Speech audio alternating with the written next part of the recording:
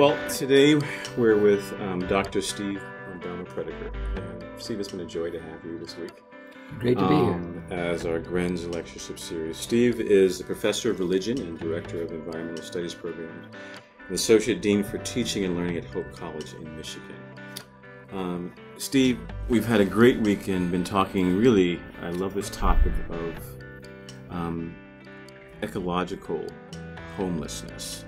And so we'll talk a bit about that. But before we do that, I'd love to hear a little bit more of your story.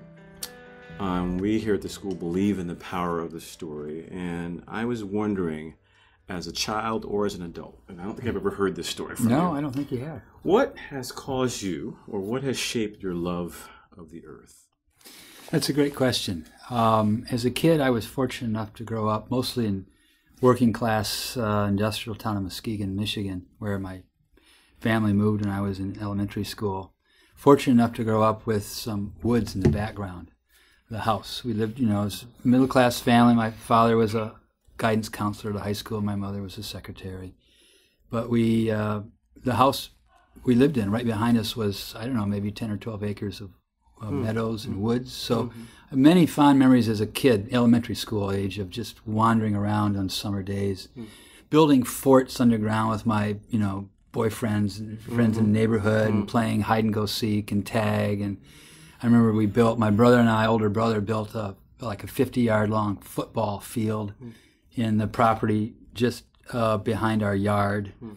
and we had uh, I think it was a six hole mini golf course that we constructed, you know, mm. three times around were 18 holes. And, and so it was just building tree forts. And so you know, I didn't, it wasn't as if my parents were, you know, teaching me how to be a birder or anything like that. It was just though memories of a lot of time year round, really, in the winter as well, uh, spending time outdoors. Hmm. And I probably in high school I couldn't have named, you know, a dozen birds or even 10 or 12 trees, but I had a kind of tactile, hmm. uh, embodied sense. So I, I, knew what a white pine looked like and hmm. smelled like and felt like, and and oaks and so on. So, um, and then we took occasionally because my my parents were on a kind of academic schedule, working in K through 12 schools. Uh, summers we often spent two, three weeks at a time on a family vacation. Initially, tent camping, mm. and then I think my mom had enough of that, and then it was a pop top camper. You know, pulled behind whatever vehicle we were driving at the time. Just had to go for more convenience. There. Yes, and, and then it was a, a little trailer that mm. we would rent. We never owned any of these. We would, mm. except the tent, but that we would rent them from you know local people, and we would go east or west, or I, you know, memories of going to national parks out west and and historical Mount Gettysburg, places like that out east. And we'd be gone for you know two or three weeks at a time. My dad would teach driver's training hmm. for June and part of July, and then we'd take a two or three week family hmm. vacation. Hmm. So that was uh, again, it, wasn't as if I was uh, intentionally being part of, of some sort of family hmm.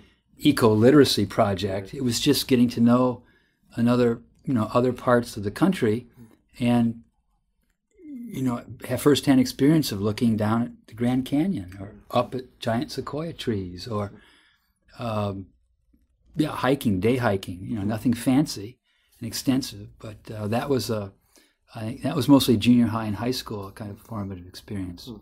The biggest thing, though, was um, would have been the summer before my senior year in college. Uh, I applied for and was accepted to be a camp counselor okay. at a denominational uh, summer camp. The Reformed Church in America, Protestant denomination, had I think six or seven camps all over Iowa to New Jersey.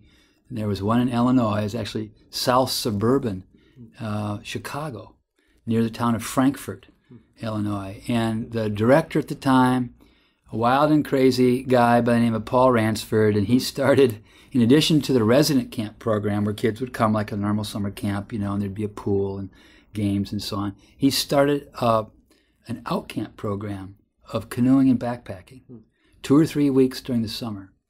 And for some strange reason, he asked me and another female uh, camp counselor, Heidi Perez, uh, to You lead. remember the names too. Yeah, I do. Well, uh, Celaine was a camp counselor. My wife, Uh-huh. weren't, we weren't married at the time, of course, but she had been a counselor the, the year before, and that's how I found out about this camp. Oh, Applied, and then we both were camp counselors, but Paul Ransford asked me and Heidi to be the co-leaders of this canoeing trip to this wild and crazy place called the Boundary Waters Canoe Area Wilderness, which in 1978, that was the first, very first summer that it was actually a wilderness area. It had been the, the roadless area for decades up in northern northeastern Minnesota, but it had just gained status as an official wilderness area. One million acres in Superior National Forest, 120 mile long border with Quetico Provincial Park on the Canadian side. So you had two million acres mm. of wilderness area, mm. and um, I led that trip. It was the summer before my senior year.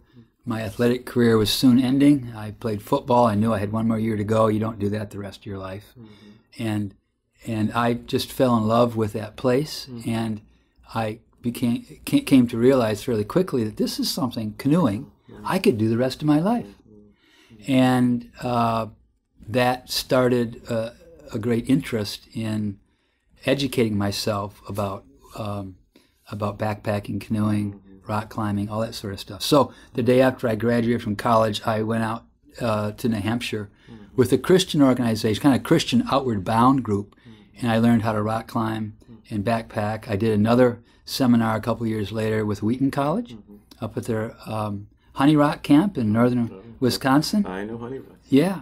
And uh, that was kind of an instructor leadership training course modeled after, again, like Outward Bound. We had a three day solo, uh, no food. You fasted for three days, all by yourself on the shore of Lake Superior in the Upper Peninsula.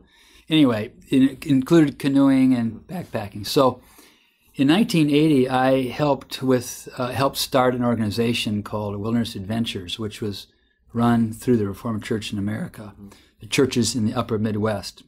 A gentleman there who was running their youth ministry program started seeing how kids who were coming up in churches would go to local camps in Michigan, and Wisconsin, Illinois, and by the time they got to be in high school, they they were sort of camped out.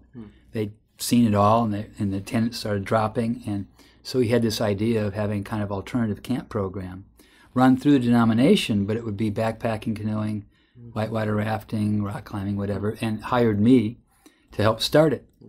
So in 1980, uh, with a Calvin grad, no less, a woman who gra- recently graduated from Calvin, I graduated from Hope, we uh, started this program called Wilderness Adventures. And the following year, I hired Kent Busman, who's now 30 year camp director at Camp Fowler in upstate New York, and my wife, uh, plus the woman who was hired the first year, the four of us, we basically doubled our capacity.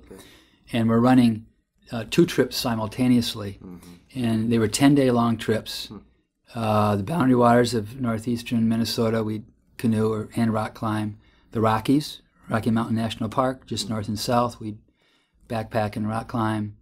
Uh, the Nantahala National Forest, south of Great Smoky Mountain National Park in far western North Carolina. We would uh, hike the Appalachian Trail, backpack, and then uh, whitewater raft of various rivers down there, and also rock climb in North Georgia.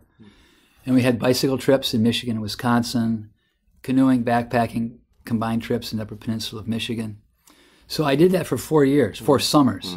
During the school year, I was in uh, graduate school in Toronto, mostly in those years. Um, and then when my wife and I, Celaine and I, decided to go to uh, Fuller Seminary in 1983, then we passed the baton off to Kent and his wife, whom he met on a wilderness trip that he was leading. Okay, so there's a, there's, a, theme here. Yeah. So all that to say is, there were, in my early to mid twenties, I was leading wilderness mm-hmm. trips professionally, mm-hmm. wi- in conjunction with his mm-hmm. denomination, and then moving to California was like I thought I died and gone to heaven because there were all these great places to go hiking and rock climbing. Joshua, which we spent a lot of time there, and uh, hiking in the in the southern Sierra. Mm-hmm.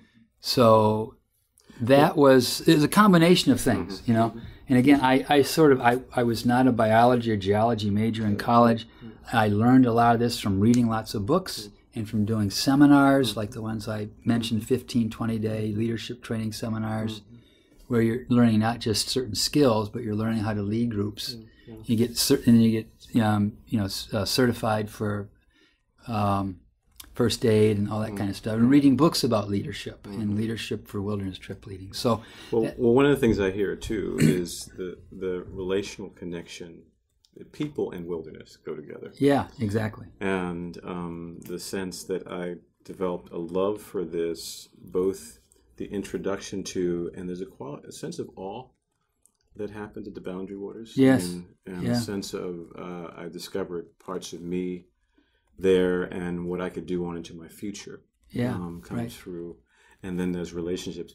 Uh, we've known each other for a long time, and I think I've always had a bit of, um, I think I mentioned this before, envy as I hear you taking your daughters off to the boundary lands. Yeah. And, and they, it was such a big family piece Yeah. with you. Yeah, it was. And um, the specialness of that and the quality of relation, relating time hmm they have with you. So I've probably pictured you not just in the wilderness by yourself, you know, Right. But it's with people. Yep. And so one of the things that stands out for me is the sense of wilderness Yeah. and you with people. The girls were eight, five, and three. We took them on a canoe trip for a week. They were actually in the Boundary Waters twice, each of them before that when they were little. Cara was four months old. I had her in a snuggly paddling up mm. there, but we stayed in a cabin rather than mm-hmm. doing a trip. Mm-hmm. But when they're eight, five, and three, we, we rented a 18 and a half foot long canoe, all five of us in one canoe for a whole week. Wow. No distractions, just the kids. We repeated that when they were hmm. 15, 13, and 10. Hmm. And then when each of the girls turned 12 or 13, I took them on a father daughter mm-hmm. canoe trip to the hmm. Boundary Waters. So each of them has been there seven times over the years, either through family trips of various sorts. So, no, that help that helps you know both fill out the sense. Because I've experienced your um, your your scholarly interest, but I've also experienced the, the relational love of it. Yeah. I mean that's probably the, the question. Um, I want to ask you about this notion of ecological homelessness, which uh, this this theme of home again feels very relational and connected. And as you talk about ecological homelessness, what does that what does that mean for you? And um, what are you wanting us to hear? yeah, it's a great question because it's a bit of a neologism. Uh, most people, when they hear the word homeless or homelessness, they think about you know street people and a kind of socioeconomic homelessness. But in the late '90s, I was doing research for a conference paper, as was my friend Brian Walsh, we knew each other from Toronto days in the '80s, 1980s, and we realized uh, we were both on to sort of the same thing, picking up uh, different kinds of homelessness beyond merely the, the typical uh, notion of homelessness. And for me, reading a lot in environmental studies, um, I ran across the striking thing. I ran across a quote from a philosopher in Australia who who said we're feeling homeless in our own homeland because of global climate change. And this was 25 years ago. And uh, that struck me because a lot of the other literature I'd been reading was they weren't using that language, but that's that's the gist of what was happening. People who weren't feeling homeless because they moved somewhere else. They were feeling homeless because the place they knew as home was changing, mm-hmm. ecologically speaking. So again, the irony of feeling homeless in your homeland. So we coined the term, Brian and I, in working on a book that became the book Beyond Homelessness. We coined the term ecological homelessness to describe this sense of feeling not at home in your own place. Mm-hmm. And part of the book, in chapter two, we kind of do a phenomenology of what is a home, what mm-hmm. constitutes a home, and what are different forms of displacement. Um, you know, migrant, immigrant, exile, um, well-housed homeless was a category I came up with actually after uh, spending time with some people who were hosting me for a speaking engagement in uh, in Texas, actually, and a woman who at dinner commented in this beautiful home with I don't know how many bedrooms and bathrooms said she felt homeless, and she wasn't living on the street or in a ravine somewhere, Right. You know, it, but she felt homeless even in her own uh, very wealthy home. So we developed these categories of displacement and also then did a kind of phenomenology of home. What, what does it mean to be at home? Well, it's affiliation. It's a sense of embeddedness and being a resident, an inhabitant in a place and knowing that place. It, it uh, has to do with um, yeah, knowing not just people, but what's you know what's going on Right. in your place. it. It's being safe, a safe resting place. So we come up with I forget eight or nine different sort of characteristics of home. And if you sort of map that onto what people are saying in terms of ecological homelessness, I mean, you, you start to see that they're in their home, quote unquote, but they're not feeling safe. They're not feeling connected to mm-hmm. other people. They, mm-hmm. They're losing their sense of knowing what that mm-hmm. place is like. So, um, those two chapters, the middle chapters in the book Beyond Homelessness, are sort of a diagnosis and prescription on ecological homelessness. Why are people? What does that? What does that mean? And why are people feeling that way?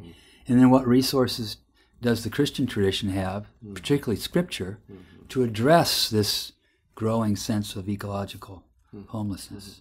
It's interesting. We've been, at least, I've been having conversations about social fragmentation for the same sense. The same. That it doesn't mean people are absent, but you don't feel connected to. them. Right. You don't feel connected in the same sense of not just simply not being connected to people, but not being connected to place Right. and nature, and in essence, probably ourselves. Yeah. A sense of disconnect. Right. Um, as we talk about or think about the sort of devastation, um, ecological devastation that is, you know, expressed in this notion of homelessness, what do you see us facing in the next this generation? Yeah, that's a that's a question on everyone's mind when you start thinking about these things. Um, chapter two in my book, For the Beauty of the Earth, I look at ten different ecological degradations, and and so it can be pretty depressing. Uh, we were facing some huge issues. The most famous or infamous, most well-known one, of course, is probably global climate change. Um, in part because it's global, unlike uh, other problems, which may be you know, a toxic waste site in a particular place, which seems much more fixable because it's local, um, and because uh, global climate change affects um, almost every other environmental and many social uh, problems and issues. But the loss of biodiversity, it's, it's uh, one metaphor is used, it's like we're unraveling the, the, the web uh, three species a day going extinct, and that's that's simply not sustainable. Um, water, both quality and um, quantity. You know, California, five years now, lower than expected snow in the Sierra Nevada, so there's a, a drought going in California. Um, some places there may be more water. The predictions are of global climate change science. Others there'll be less water. Um, and is if there is enough water in many places in the world, especially in very impoverished areas, there may be enough water, but it's not potable. It's not drinkable. It's contaminated for whatever reason. So you may have enough, but it's you know you don't want to drink it. So and, and we need water, clean air. Those are all you know absolutely essential uh, to human life. So uh, there are a lot of degradations, and in many cases, they're going in the wrong direction. That's to say, things are getting worse. It's not entirely the case. I mentioned um, I mentioned the book and elsewhere. You know, the Endangered Species Act of 1973 has had a real positive impact.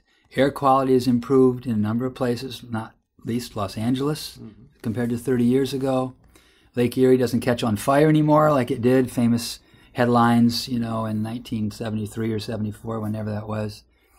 So there's been some real progress. It's a mixed bag, but there are enough serious ecological degradations that um, if business as usual, which is the term that Jim Hansen uses, he's one of the leading American climate scientists. If if that happens, um, we're going to have some very serious problems, especially 20, 30 years from now. We're not look, talking 90 years from now. We're looking a couple of decades, and many people would say we're already seeing significant changes. Wow. Um, you don't have to wait till the future. The future is happening now, especially with respect to climate change. Hmm. It's important to say, though, it's not. I mean, business as usual is not a fait accompli. Hmm, hmm. There are some real things that we can and should do to mitigate this. We're above 400 parts per million CO2 from the global climate perspective, which was sort of the, the goal 10, 15 years ago. You know, we don't want to get above that, but which is why Bill McKibben's organization is 350.org. 350 uh, signifies 350 parts per million. That's what we got to get back to to have a planet that we're used to. Wow. Um, so there are significant environmental challenges, but uh, contrary to I think to what many people think, um, there's also an opportunity to make some real changes. The Paris Accord, most recently, was a huge deal breaker, in part because two of the lead, well, the two leading countries that produce a majority of uh, the uh, CO2, China and the United States, prior to the Paris Accord, had a, had a bilateral agreement, Okay. right, to say we are voluntarily going to set these goals and we're going to enforce each other and we're going to make some positive change to decrease CO2 uh, outputs. And then that that move, rather bold move, then set the tone for Paris. Now everyone says, well, who's going to hold who accountable here? And that remains to be seen. But the Paris Accord could, 20 years from now, we could be looking back at that the way we look back at the 1987 Montreal Protocol about chlorofluorocarbons in the ozone layer. Mm-hmm. A huge success. Mm-hmm. Hundreds of nations signing on mm-hmm. because some scientists, within 10 years, some scientists saw that the you know, ozone high up in the atmosphere is being depleted by chlorofluorocarbons. And so those were sort of um, legislation through the UN, those were done away with. So, I mean, there's a, there's a story of hope there, of international collaboration on a huge problem. Maybe I'll follow up and even just nudge you in that direction um, because I think this is the challenge in peace hope. Uh, it's easy to feel overwhelmed. It's Right. easy then to try to either ignore or um, deny. But what are the images of hope that you have seen? Well, yeah, I mentioned the Montreal Protocol. That's one that many people um, mention. For me, I mean, those are that's all well and good. We need that, but for me, it's seeing progress at the local level, um, wherever I go. Um, in the town of Holland, Michigan, where I live in southwestern Michigan, Project Clarity, we've raised $15 million to help clean up our watershed. And it's a collaborative thing involving multiple organizations, including the college where I teach, Hope College, but also some nonprofits, um, wealthy philanthropists in the community who've contributed money, school districts. It's it's sort of this multi-pronged effort to clean up the mess that previous generations made of the local watershed.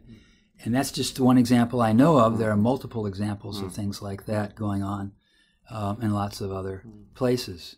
Um, educational efforts are increasing. We've got a couple examples again locally that I know well through the Outdoor Discovery Center, or Little Hawks Preschool. We've got a, a wait list of I don't know a couple hundred families trying to get their kids into this is, this uh, environmentally oriented preschool, and then one of the local school districts have um, stream school for middle school kids. And all your work, you do English, you know, you do writing, you do history, you do science, all project-based learning out in the outdoors. So, and, and we're getting from the, what I hear from the director, Travis Williams, lots of interest from people who've heard about this mm-hmm. and they want to replicate it mm-hmm. where they are, mm-hmm. not just in Michigan, but you know around the country. So, I think there are a lot of signs of hope like that of people who who are resisting this sense of being um, dispower or, or um, lack of empowerment because they feel that the problems are so large, so intractable. What can mm-hmm. little old me do? Mm-hmm. And they're saying that maybe that may be true. These are big problems. These are mm-hmm. wicked problems, but nevertheless, I can do this in my community, and that empowers them because they can then see the change for good that's happening wherever they happen to be. And um, so another example, look what's happened to coal just in the last two or three years. The coal plant where I live is being shut down. Peabody Coal, the largest coal company in this country, I think in the world, just declared bankruptcy. Why? Well, for a whole host of factors, some systemic, but mm-hmm. also, you know, a lot of little people doing a lot of little things. Mm-hmm. And uh, who would have thought 10 years ago mm-hmm. that the coal industry would be going belly up? Many people are saying eventually, if the fracking thing stops, uh, same thing's going to happen with natural gas. So then we only have one fossil fuel left, that's oil. And then you look at, you know, Toyota Prius hybrid, you know, and, and all the technology there. Mm-hmm. So mm-hmm. yes, there's there's uh, a lot of room to be concerned about various environmental problems, but there there are also a lot of really cool stories of hope mm-hmm. that are percolating up all over the world. Many of which are not being. It's not top down. It's not always countries, nation states, provinces, you know, saying you must do this, but percolating up from from below. People who are entrepreneurs or just doing what they think the right thing is. It's helpful to hear. Um, and uh, for those of us who at times feel like we're entering into this conversation late, it's helpful to hear that there's others. Um, thank you, one, for being here, and thank you for being a pioneer. Um. For uh, trailblazing and also holding out a light of hope. It's good to have you, and good to have you, good friend. Great. And thank you for be here. blessing us. You're welcome. Thank you.